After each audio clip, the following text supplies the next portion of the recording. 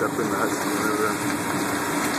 Um, coming down, it's just